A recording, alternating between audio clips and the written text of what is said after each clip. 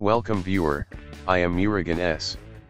This video tutorial describes, how to delete autofill entries from Chrome browser.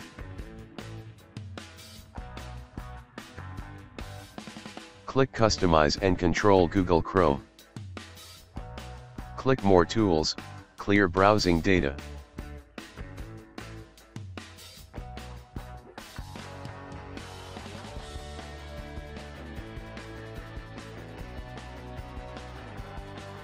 Click Advanced tab.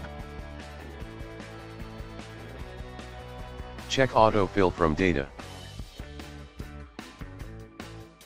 Click Clear Data. Autofill entries cleared successfully. Thanks for watching.